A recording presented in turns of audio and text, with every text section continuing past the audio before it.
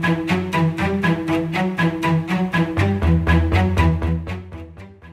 Hər birimiz marketlərdə və digər satış yerlərində alış-veriş edən zaman üstü açıq şəkildə çəki ilə satılan məhsulları görürük. Üzərinin açıq qalması bir yana, üstəlik heç bir məlumat da yazılmır. Çoxumuz buna diqqət yetirmirik və demək olar ki, mütəmadi istehlak edirik. Bəs qidaların paketlənməsi hansı qaydada icra edilməlidir? Paketin üstündə nə kimi informasiyalar qeyd olunmalıdır? Qida təhlükəsizliyi hərəkatının rəhbəri, sağlam qidalanma mütəxəssisi Məsədi Hüseynova deyib ki, əksər məhsullarda paketlənmə onları fiziki fiziki çirklənmədən qoruyur və bəzi vacib nüanslar da var ki, mütləq qaydada üzərində yazılmalıdır. Xüsusilə də istehsal müddəti, son istifadə müddəti də paketin üzərində qeyd olunan vacib məlumatlardandır ki, çünki hər bir qida məhsulunun həm saxlama şəraiti, həm də saxlama müddəti, eyni zamanda da istifadə qaydaları fərqli olduğuna görə mütləq şəkildə bu məlumatların olması vacibdir. Lakin bir çox qidalar var ki, buna paxlalları, eləcə də çəki ilə satılan bir çox çox məhsullar var ki, onlara aid edə bilərik. Mütəxəssisin sözlərinə görə sözü gedən qidalar mənşəyi bəlli olan yerdən alınmalıdır. Çəki ilə istehlak edildikdə belə onun çəkisi, qiyməti ilə yanaşı üzərində istehsal tarixi, son istifadə müddəti, ha belə istehsalçı şirkət haqqında informasiyalar tam şəkildə